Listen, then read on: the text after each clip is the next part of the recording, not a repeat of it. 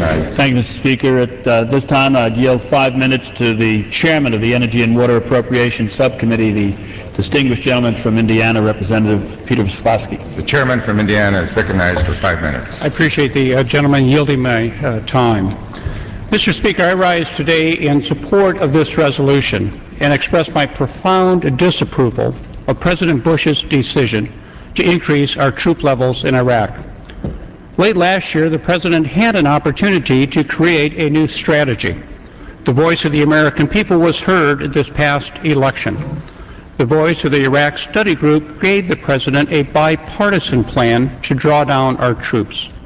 New leadership at the Pentagon also could have been a voice of change of strategy. But President Bush did not listen to any of these voices. He decided to escalate our troop levels in Iraq. No time frame, no measurable benchmarks, no end.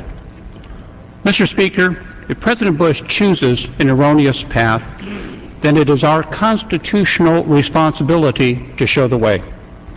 I have the deepest respect and gratitude for our women and men in uniform. I honor their commitment, their courage, and their sacrifice. Our troops have done everything we have asked them to do. They overwhelmed the old Iraqi government and captured Saddam Hussein. They provided security while Iraq formed its provisional government, approved a constitution, and elected a permanent government. Nine individuals from the 1st Congressional District of Indiana have already given their life and made the supreme sacrifice for our nation. These brave men and women will always be remembered.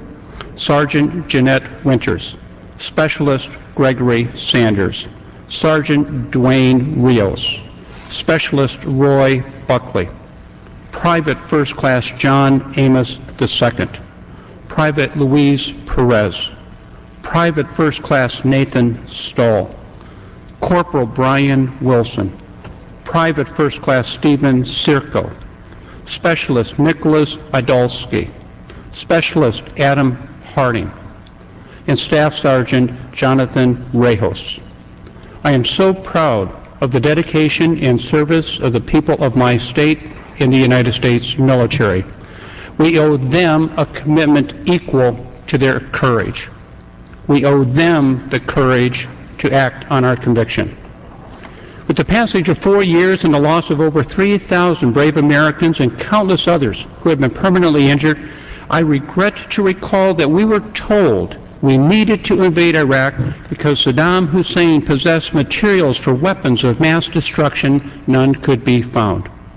I regret that the President felt compelled to justify the invasion by claiming a connection between Al Qaeda and Saddam Hussein when the 9 11 Commission found this was simply not true.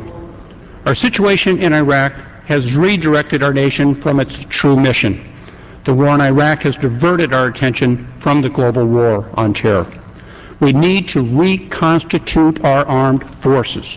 We also need a strategic redeployment of our forces that will give us the ability to focus our efforts directly on the global terror networks that target innocent people around the world.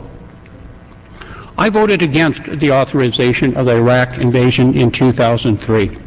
There was no plan or exit strategy then, and there are clearly no good options now. Yet the Iraq Study Group provided a bipartisan perspective on some changes in strategy. They called for a drawdown of troops and for more intensive diplomatic efforts to resolve the sectarian violence there. We need to listen to their recommendations. Mr. Speaker, it is not too late to change our strategy, and the first step along the new way is to prevent the President's escalation of this war. It is time to obligate the Iraqi government to assume the full burden and consequences of governing their country.